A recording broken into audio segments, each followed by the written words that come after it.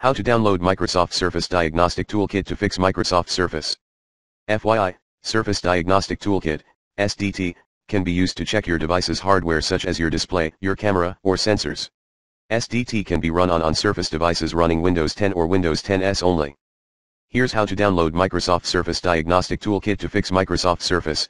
Go to https://goo.gl/6wzdf. Fix common Surface problems using the Surface Diagnostic Toolkit and get SDT on your device.